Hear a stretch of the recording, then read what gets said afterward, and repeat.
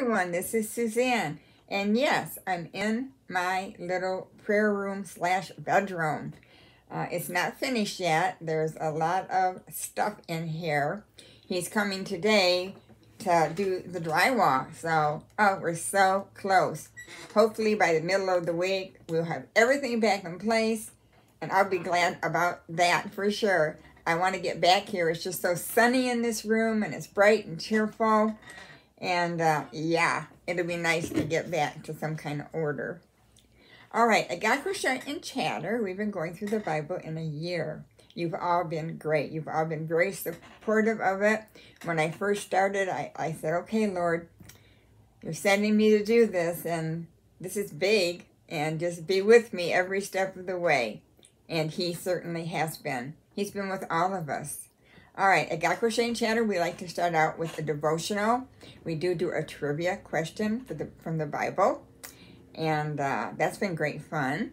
And today, I have a lesson, and this whole theme is, Here I am, send me.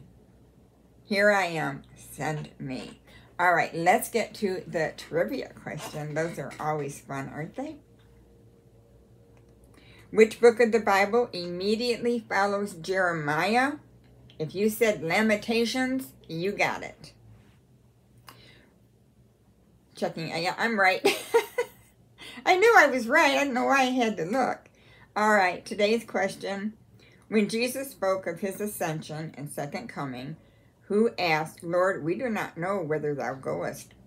How can we know the way? And that's in John 14, verse 5. Okay, for the rest of this week and all of next week, we will be in the book of Isaiah. And I thought, well, we're going to be finishing it up at the end of next week. So I thought what I would do is go through and today we're going to talk about the people in Isaiah. And of course, we're going to start with Isaiah. And then we're going to do the suffering Savior, Hezekiah, Ahaz, and then Sen Sennacherib and Rashaketh. I can't pronounce that name. Rabashaketh. The Seraphim, Isaiah's family, Eli, Kim, Sheba, and Joaz, and then finally King Pekah and King Rezah. Wow, those are hard names to pronounce. So by the end of this, we will be finished with the book of Isaiah. I thought it would be nice to look at some of the characters and how they fit in the storyline. All right, let's get to our lesson, Isaiah and also, I want to let you know that I have decided that I will not be doing devotions on Saturday anymore. Um, Saturday and Sunday, I will take that time um, to rest, reflect, pray, kind of enjoy myself. Um, and Christmas is coming. There's a lot of things I need to get made. And um, yeah, so you'll do okay. All right, let's get to our lesson. Isaiah. Isaiah is humble, righteous, principled, noble. Noble. a real prophet's prophet. Now that's something. A real prophet's prophet. His name means Yah is salvation. Yah being another name for God. His prophetic career lasts through the reigns of a whole bunch of kings, Uriah, Jotham, Ahaz, very most wicked king, and Hezekiah. He posed a Moses, basically, imitating that prophet's humility before the burning bush. Isaiah says, I have unclean lips. If we see God, we will see our sin. The hot coal represents pain's ability to purify and cleanse. There were three surprises that purged the prophet that day. One, that he had a problem. He recognized he had unclean lips. How many times does Jeremiah tell us God was growing him and purging him while he was preaching? Everyone is in need of revival. The evangelist is one in need of revival first. It's very important that you practice what you preach and you need to purge things out of your life that may be hindering you or have people say, he doesn't practice what he preaches. Two, that he could be purged as we can be purged of our sin. Isn't that great that we can be purged of our sin? Three, that he could be used. In spite of his failure, after he had been cleansed, he could greatly be used by God. Now, I really like that because once I became cleansed and I gave my life to Christ, then God could start to shape me and mold me and make me into what he wanted me to be. And that is a great thing for us to know that none of us are without hope, are we? No, sir.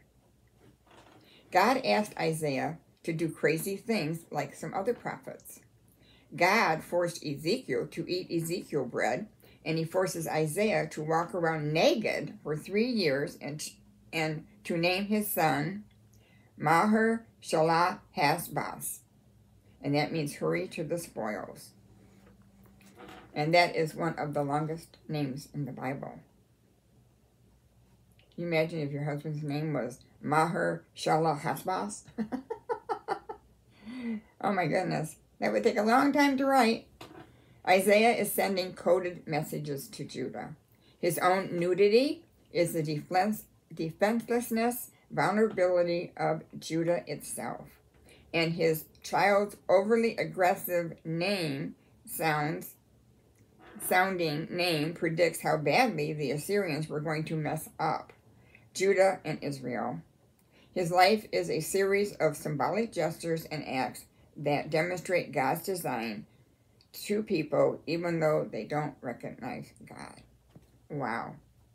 Isn't that fantastic? Isaiah was a prophet's prophet for sure.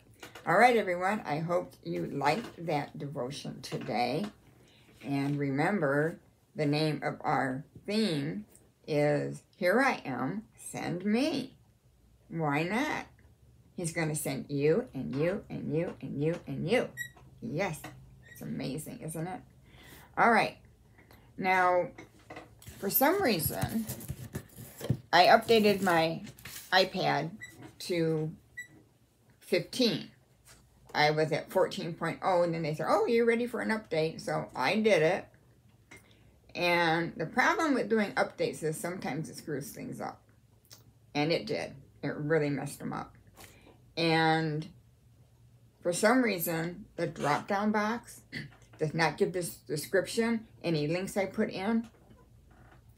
Excuse me. I haven't figured out how to correct that yet, but I will be working on it. And I will, for now, be putting the links in the comments for you. And um, I'm just going to have to do it that way. And I will give you this list so that you can write down and follow it. Now, today we read chapters 28 through 31, Wednesday 32 to 35. Now, this is the list. I'm going to hold it up here. You can pause the video and you can copy this down. Okay, and I will mention it every day for you. So, all right, well, today is supposed to be like 73. Yesterday it was uh, chilly, and today it's like, okay, put back on your summer clothes. So we're going to enjoy our walk today because it's just such a beautiful day again, and we're trying to get all these nice days and be outside because when winter comes, we got to put on our underclothing, then our clothing, do the layering up, the hats, the boots, the coats.